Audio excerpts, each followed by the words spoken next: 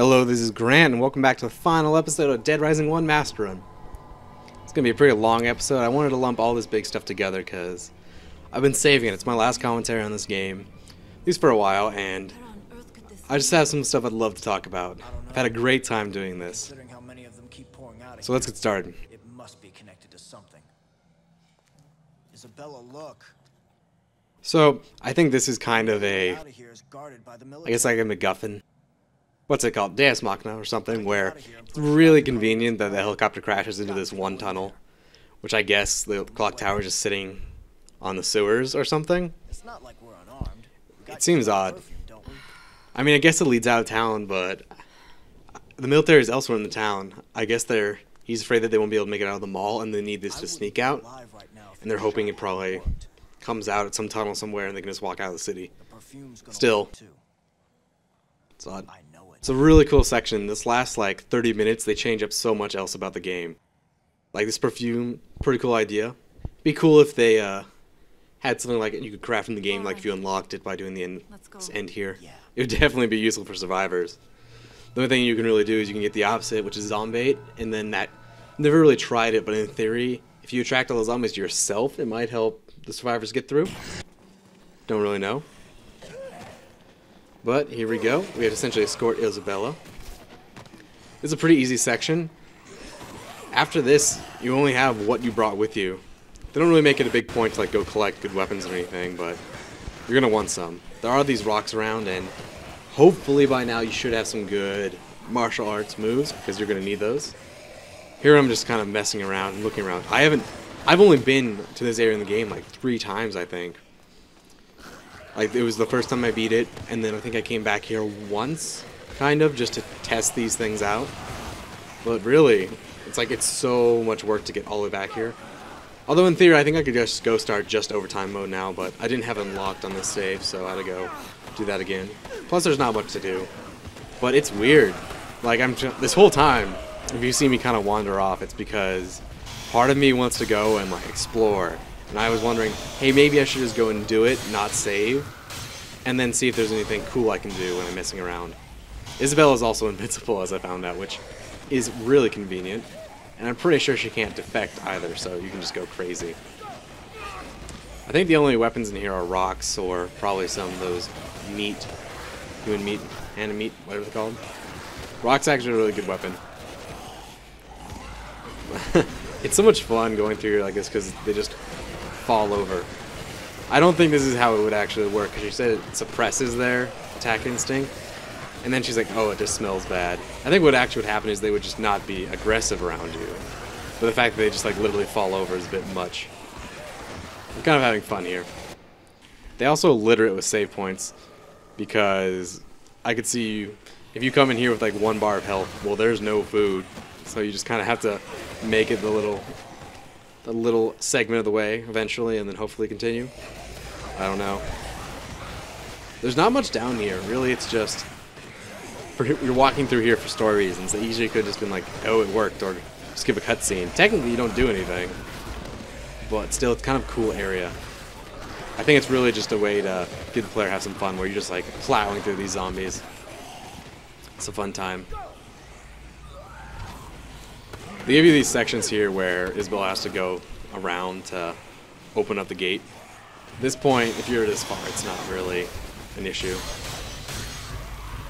Out of debate that was like what level I should be for this. Like, I didn't know if I was going to be able to get level 50 all the way through the run because I decided early that for time issues, I wanted to just kind of test it as I went rather than trying to do a whole master run, completing it, making sure everything works, and then going. And it turned out really well actually because, like I said, the game's not that hard to do it this way, especially since like I'm getting every survivor anyway. I'm usually pretty have a pretty good level and resources available to me.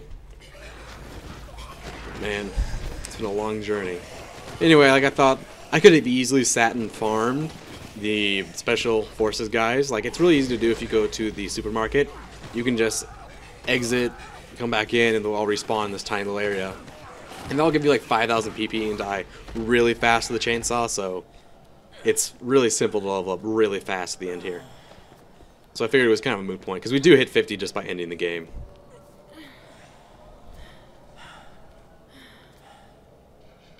Are you sure this was a good idea? Guards here too.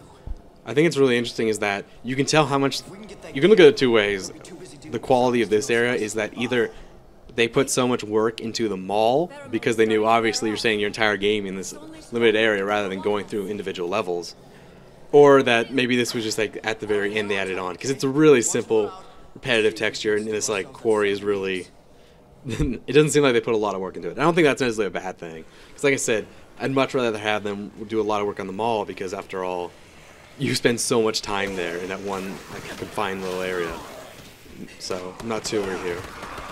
And then here they have it so that Isabella's perfume wore off. I don't know why they bothered with that because it's such a close like you're basically there, and if you carry her, you don't need to fight him anyway. It's not like you're fighting them before, so it's not. It doesn't really change anything. Maybe there was some other reason where like they didn't want to worry about Isabella's pathing here, so they just said, "Oh well, you have to carry her," because then they don't have to do anything about it. But it seems like they just needed to move to get you here. Like there's not really much story going on in this little portion until we get to the tank, which is a boss fight that is completely unlike anything else in the game. It's another thing. Is it just like it's almost like they decided this either way early on and it didn't get changed or they added it way later. But a lot of me see like even watching it now I'm like what would happen I wonder if I go down that pathway without the Jeep. I don't know. I've never tried it, but at this point I'm like I should finish it up.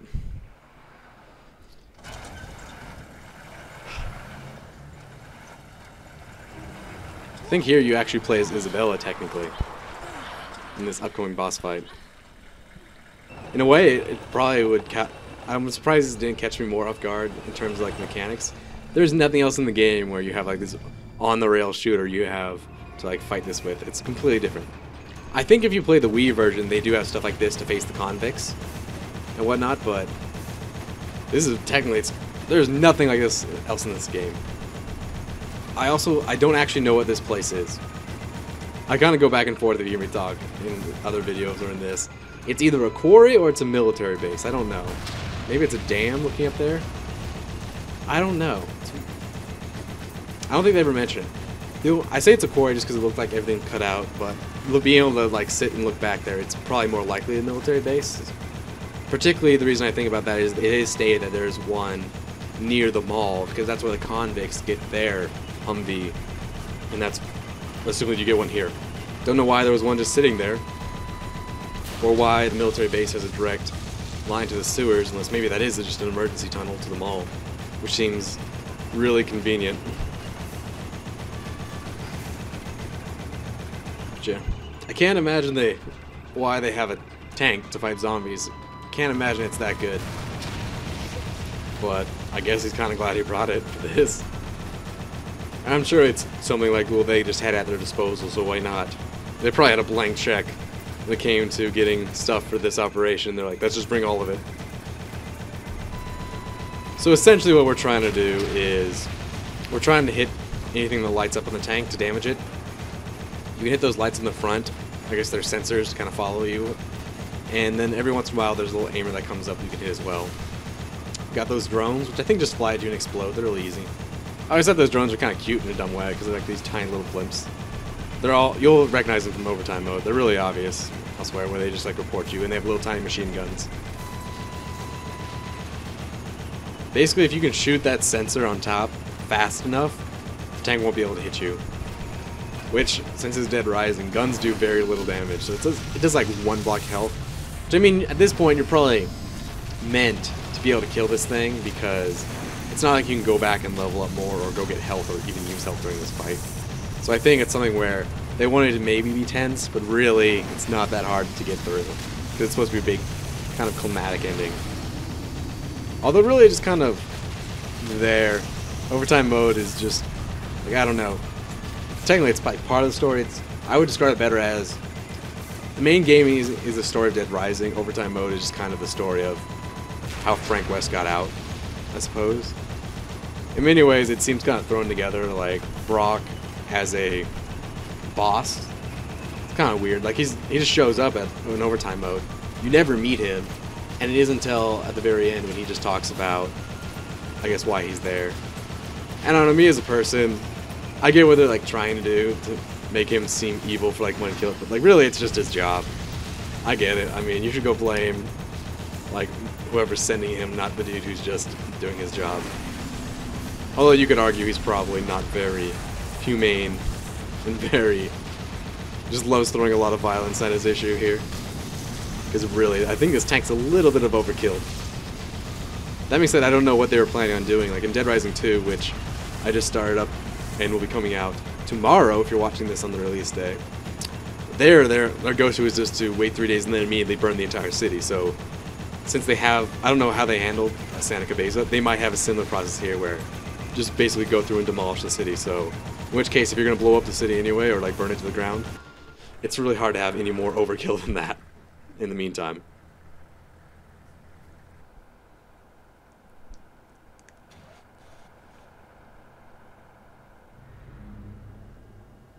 These automated machines are no use at all on the battlefield. Switch to manual control.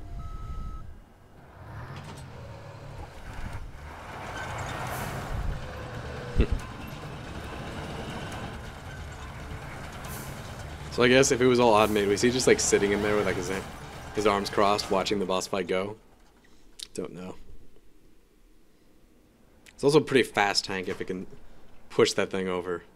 But then again, if they had to like slowly, slowly show the tank pushing it over, it'd be less climatic than a big bash. But I mean, if it goes just as fast as that Jeep at full speed, that's something. Oh shit. Well, what have we here?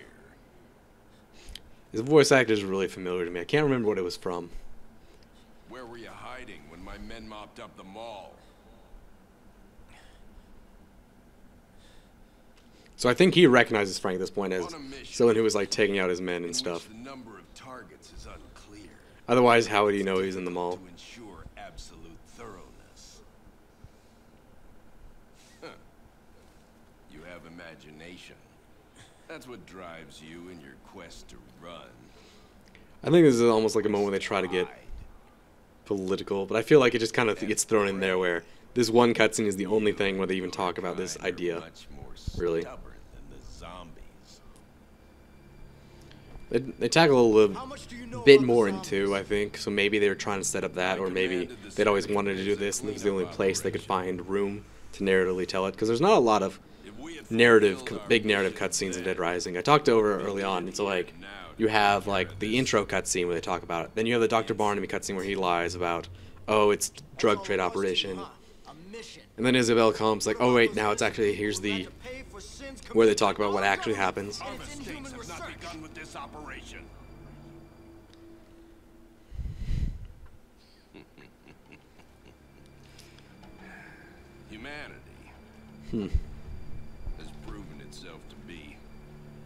quite adept at making mistakes. This is his big line. It's pretty interesting. But I just wish they did more with this character. Like, I'm amazed they didn't do. At least have him show up somewhere in the mall. I'd say this mission isn't quite over yet. Don't you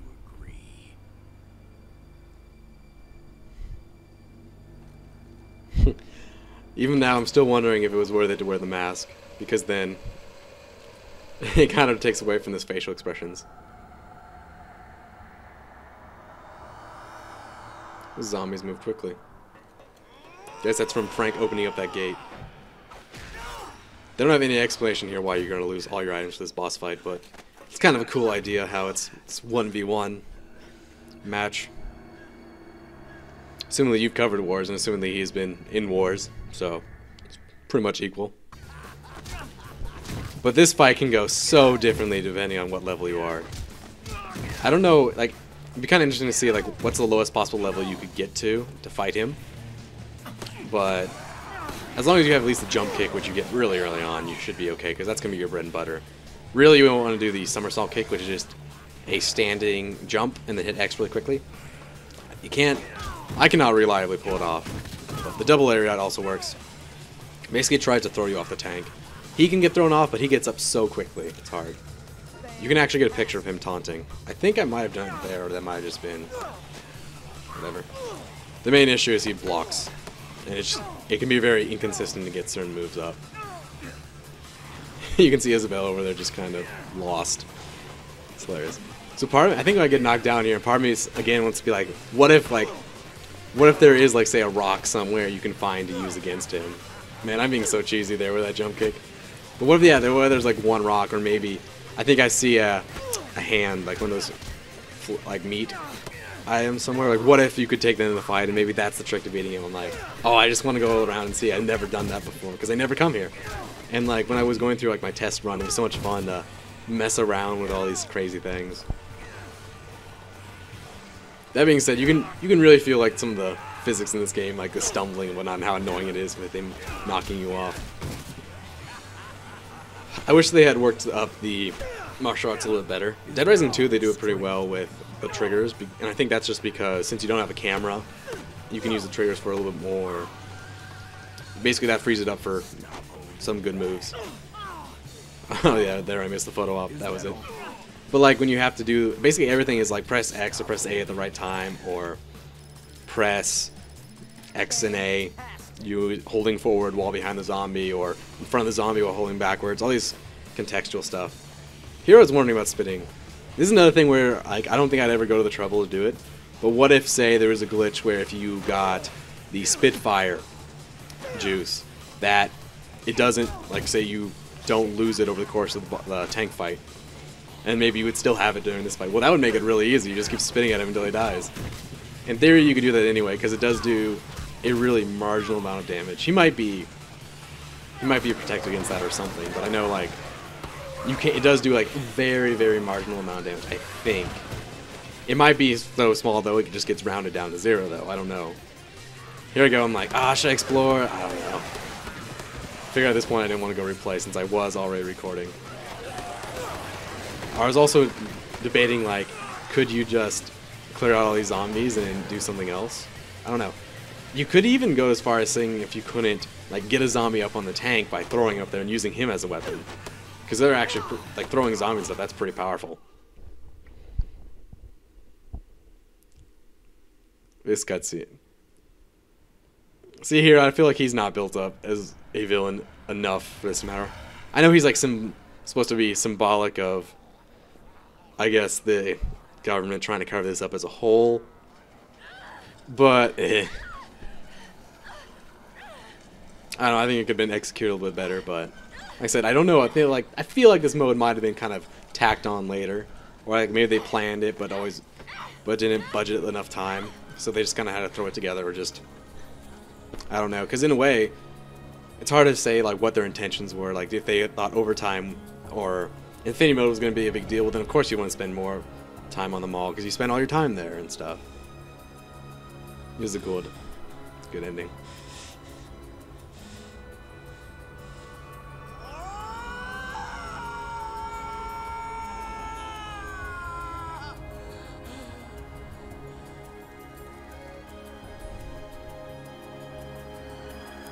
Feel like that was just he's he's went through like three days and he's like just waiting for the helicopter. Then it doesn't show up. He goes through all this and it's just like it just won't end. Because even now they still have to get out through the military, and I don't think they talk about it in this game at least. But here, there's some great music here. I pulled off. I'm not fully familiar with how copyright and stuff works there, so I wanted to be careful. I didn't want to get get it pulled or like not be able to monetize it or anything.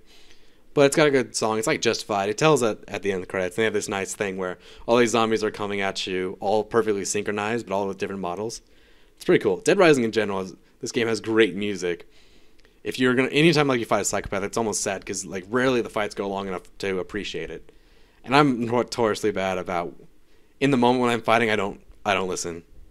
Like I'm a huge fan of like Dark Souls, and like I never listen to music, even though it's amazing. It's just I forget about it because I'm so focused on what I'm doing. But man, it, it was a great game. I learned a lot going through here. This was my like first attempt at making like a very big series. So I wanted to pick Dead Rising because it fit really well. Where I know technically the game is only like six hours, which one that seems like less than is because there are so many cutscenes and loading screens. Like I would not be surprised if I cut out even an hour or more of just straight loading cutscenes and loading screens.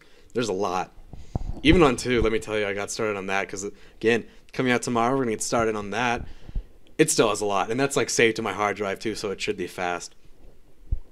Also, I know this game a lot. I didn't get it when it came out. I didn't have an Xbox until I think a fair ways into its life. But I think I came across this game like, hey, I think I got it for like five dollars at a GameStop, and like, man, there's always great reviews of the game. You know what? I'll get it. it seems interesting, and I loved it. I still, I'm still playing it way later, so I think that says a lot about the game. Good time. I wish I could say more. Like, there's so many cool things where I wish I'd been around like when this game was coming out, so I could be kind of more involved or understanding. There's so much that's lost over the course of time that it's just like too bad. Like up to, leading up to the release of the game, I'm sure they put out all these cool stuff. Like someone linked a video of them doing like mocap, and like I recently just saw that. Well, that was probably all over when the game was being made, but trying to go back and find that like of promotional material, it's just kind of gone after a while, and that's kind of sad because it can be some of the best insights into how what made the game what it is. Like I would love to hear like a developer commentary of this game. There's probably so many cool things that had to come up in development that just it's hard to hit if you don't know exactly what to look for. Great game. I'm really looking forward to two. I just recently started. I'm not as familiar, but it's been kind of cool having something I'm not. I don't know every single detail of. It's definitely a little bit harder to do like the whole master run because there's so much more you need to fulfill in terms of people, escorts, getting Zombrex back. I kind of like the more relaxed version of one, but we'll have to see how that goes. Again, coming out tomorrow. Other than that, I got some big stuff. I'm hoping to put out some drinking games for Dark Souls coming up next weekend, I believe. Just got to get that all filmed and all finished up. It's gonna be pretty fun. Moving forward, I'd love to do another st- a stream of Dead Rising One. I was thinking something along the lines of either a theme run or just trying to pick one goal and just doing something crazy like, can I beat the entire game, maybe to overtime mode, without killing a single zombie. Like that would be a very interesting goal. Like say, there's probably some cases where it's inevitable. Like I don't know, maybe maybe survivors getting kills count towards your your count. I don't know off the top of my head. That might be a thing. Well, what if I need to like take care of that, or maybe a zombie has very little health. I accidentally walk into him wrong, and him falling over counts as a, as a kill. It, might, it could be really cool, might not, but it'd be a fun stream either way. So let me know if you want to see that, and let me know how how this went. I love hearing guys speak. I love talking to all of you. Had a great time playing this game. All right, we're gonna see our nice little unlocks, and again, this is Grant, and don't take Dead Rising for granted.